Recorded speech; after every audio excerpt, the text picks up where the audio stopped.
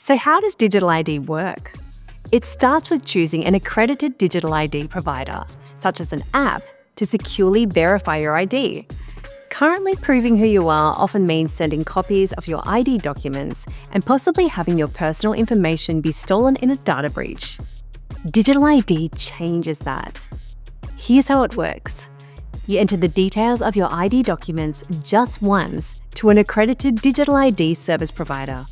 Your details are verified digitally with issuing agencies, such as checking your driver's license with state and territory records, or your passport with the Passport Office. Once verified, your digital ID is created, encrypted, and protected. You can use it again and again to access online services, such as doing your annual tax return or setting up your access to claim back childcare costs online. To find an accredited provider, head to this website. Digital ID secure, convenient, and voluntary.